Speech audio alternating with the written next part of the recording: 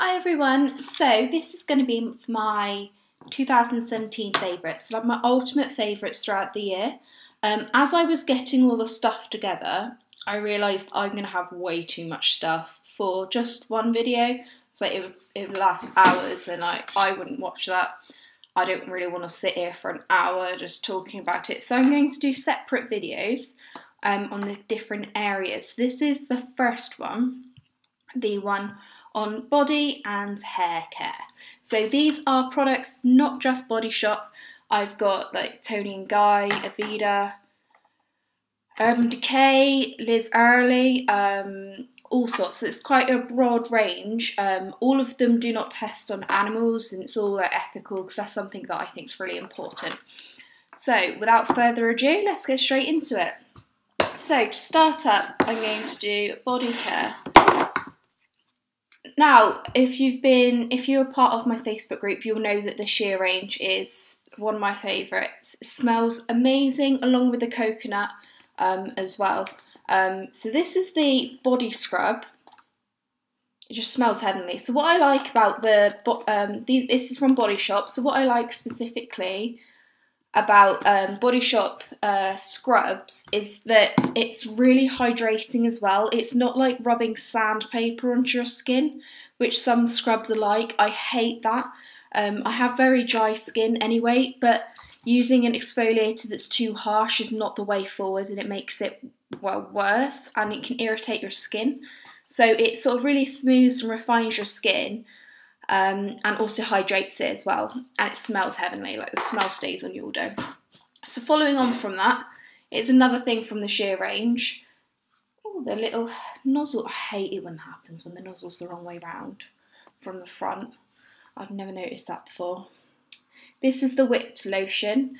Um, it gets absorbed into your skin really, really fast, and it smells amazing. You can I use it in the mornings, um, so that like it gets absorbed in. I know sometimes if you have a moisturizer that doesn't absorb fast, then you put clothes on, it's absolutely horrible. You don't get that with that lotion. I'm ultimately the most picky person when it comes to like moisturizers and um, that sort of thing. It's all about what your skin feels like at the end, and if it like it could be amazing, but if it doesn't absorb fast I'm not going to use it because I don't like feeling like a slippery soap and like all, all clammy and all the horrible feelings you get if you have a moisturiser that doesn't absorb in fast enough. Then next up is the Wild Argan Oil uh, Body Butter.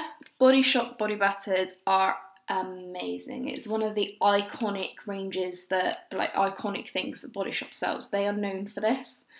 Um, well, this like body butter. Um, I also oh I haven't got out. I like I really like the shower gel. If stuff is kept in my shower, I've not brought it out because it's all like gets wet and I don't really want to potentially get leaky old shower water on. It just smells so good and it's for very dry skin and it absorbs into your skin fast and you can literally feel the difference and you can see the difference as well, which is quite important because you can get like horrible bumpy dry bits. That gets rid of it. What more do you want? And it is it is like 15 pounds however it's totally worth it. If something works for you and it's like a bit higher of the price point i think it's well worth investing in. Because what's the point in wasting money on products that doesn't get the job done even if they are cheap, like we're wasting money because you can end up like using it, um, and if it doesn't work, you're wasting time really, and, and no one's got time to waste. Then next up is the Amazonian Saviour um, multi-purpose balm. So this improves the appearance of tattoos, skin marks, and more.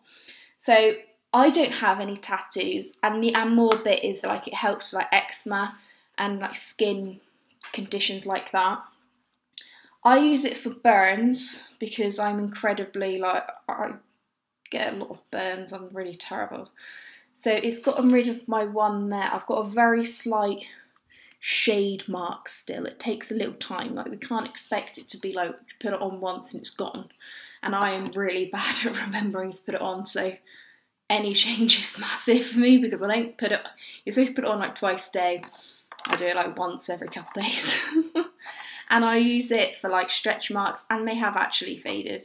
Um, it's very difficult uh, with products that help with stretch marks, really, because a lot of them are a lie and they don't actually help. You can't expect a product that you put onto your skin to eradicate them completely if you've got like if they are big and like older one like like more like not that fresh if they're fresh it's easier to um, get rid of i assume and like prevention so if you're pregnant this i imagine would be good um, to put on uh, to help ward off stretch marks. But ultimately, um, I got it mainly for the, the scars, but we all should love our bodies. So. Okay, so sorry that cut out because I ran out of space on my Mac, which is a bit like. I'm gonna have to buy an external hard drive because I'm such a photo hoarder, I just can't delete them at all. So, oh gosh, on to hair care. This is the Fuji Green Tea um, Hair Scrub. It is the most bizarre thing I've ever used in my life, but it works so well. It smells so fresh. So I'll use this once a week, and I will like have a bit into my hands and scrub it into my scalp. Um, and then when it gets wet, it does lather up. Uh, it's fifteen pounds, I believe, and it's totally worth it because it, it makes your hair like really it makes my hair grow quite fast. And it's good to give it a good clean because I use hair products. Um, it needs like a deep cleanse every now and then to remove the junk that that leave can leave onto your hair. So this is amazing and following on from that what I will use is the banana hair mask now this does smell very strongly of bananas like it literally it is what it is. If you are hungover, do not use this because the smell is very, very, very strong. Um, it, it smells strongly of banana. You only need to use a little bit, so this lasts so, so long. And it costs £12. So what I do is after the hair scrub, I will get out of the shower and I'll have, I'll because it's supposed to be on damp hair, so I'll let it, I'll uh, pat it dry a little bit. Do not rub because I don't want to create extra static and then just um, pop it on. Don't put it on my roots. Pop it on here, and I'll do the best I can, considering I don't have very long hair.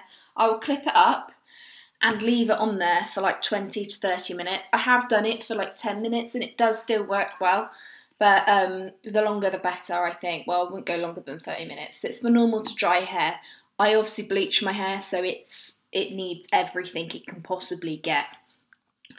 Other than that, like normally, the shampoo and conditioners I don't have here because it's in my shower and it's all like wet and gross.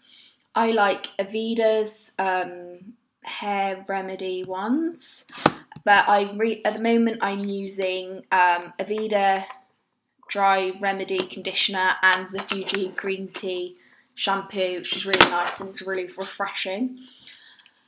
Um, and it works well it keeps my hair on track and because I've pretty much mastered my hair routine like apart from like obviously I need to dye often um, my hair grows really fast and it's in way better condition considering the fact that I bleach it and it gets dyed all the time um, than if I didn't have a good hair care routine. Hair care routine, very important, I've been learning. Then next up is heat protection very important because I use heat on my hair. Um, I don't really let my hair dry naturally. I do occasionally, but if, even if I do, chances are I'm gonna have to use something on it the next day because I've got these bangs. I haven't used any heat on it today, and it goes wavy. So at the moment it looks alright, but it can end up. I could wake up and it'll be like that, and I will look in the mirror and be like, how has that happened whilst I was sleeping? I went to bed with it normal, woke up with that. So I use the Toni and Guy Heat Protection um, spray. It's like seven pounds ish. Um, I've been using this for a few years now. If it works, don't knock it. Basically, that's what I've got with heat protection. Um, Body Shop doesn't actually sell a heat protection spray yet that I know of. Um, I have tried many others. I've tried Tresemme, did not like that at all. I found it made your hair quite greasy. Um, different types of heat protection spray from Toni and Guy. Um, an Aveda one, which is alright. I just think it's I don't need to spend that much money on it when I can get this one, and it does basically the same thing. It smells nice, though the Aveda one. This one doesn't. It smells alright, but doesn't smell as good.